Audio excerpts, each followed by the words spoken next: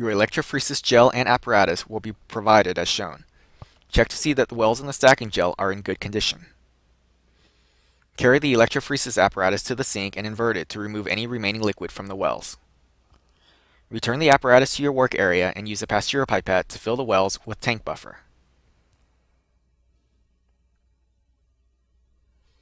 Carefully force the liquid from the Pasteur pipette into the wells with some velocity to ensure that any unpolymerized gel components are swept out of the wells.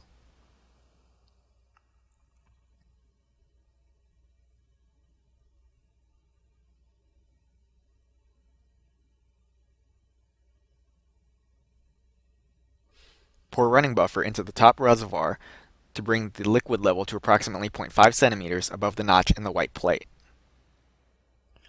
Pour running buffer into the lower reservoir to cover approximately the bottom 1 centimeter of the gel holder. The gel contains 10 wells, each of which will be loaded with a solution.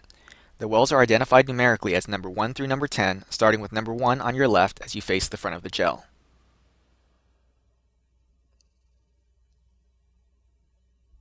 With an elongated tip on the pipetter, you will be loading 60 microliters of solution into each well.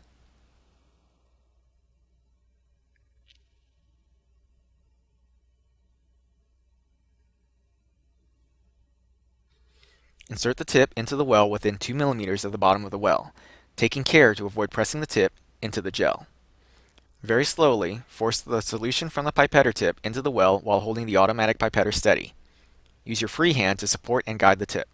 The blue solution should form a layer at the bottom of the well, but not mix with the running buffer. Only go to the first stop on the pipetter. Slowly withdraw the tip before releasing thumb pressure on the pipetter to avoid disturbing the solution at the bottom of the well. Practice your loading technique using the practice gel before loading your own gel. If, when practicing, you find it difficult to load 60 microliters without overflowing the well, adjust the pipetter to deliver 55 microliters instead. Try to fill the wells, but it is more important to not overflow them, even if that means you do not deliver all of the solution that is in the tip. For illustrative purposes, lanes 3 through 5 and 8 through 10 of this gel were loaded with only 55 microliters.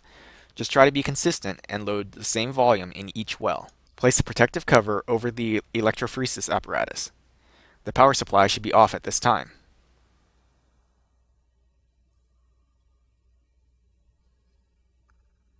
Attach the red cable to red on the power supply and attach the black cable to black on the power supply. Clean any spilled liquid from around or on the electrophoresis apparatus, then request that your instructor inspect the setup. Turn on the power supply and adjust it to provide a constant current of 33 milliamps. Press the running man button to start the electrophoresis. A band of bromophenol blue tracking dye should form quickly across the stacking gel and move down through the resolving gel. Running time typically is somewhere between 30 minutes and 1 hour.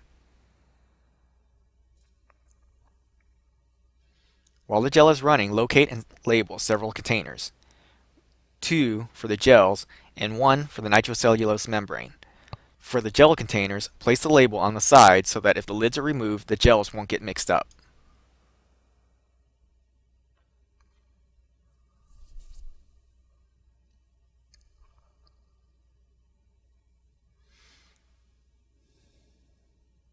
Conclude the run when the blue tracking dye in the lanes begins to run off the bottom of the gel.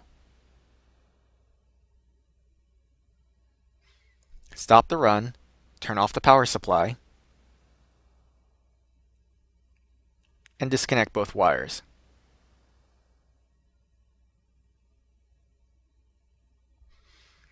Remove the cover from the electrophoresis apparatus.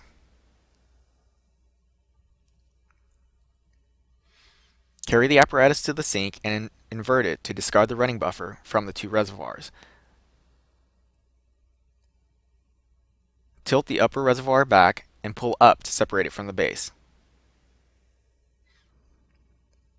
Remove the clamps and detach the gel support chamber from the apparatus.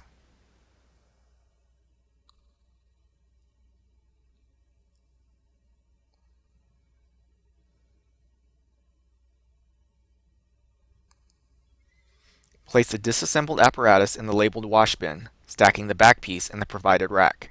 You should not and do not need to rinse them. Lab prep staff will perform proper cleaning. Gently insert a spatula a short distance between the plates along one of the edges and very gently pry the glass plate away from the gel. The gel will initially stick to both plates but should adhere more tightly to the white plate.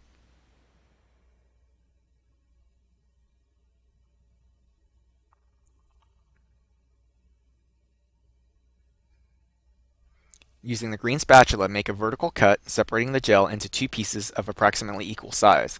The cut should carefully separate the gel between lanes 5 and 6. Gently cut the stacking gel away from the resolving gel. Discard the stacking gel. Cut a notch in the lower left-hand corner of both gel halves.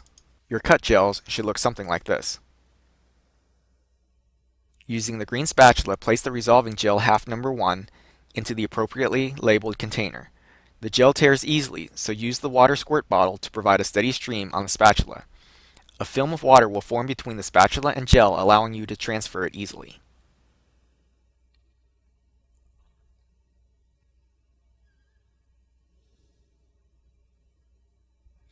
Take the gel over to the fume hood and add just enough Coomassie Blue dye to cover the gel.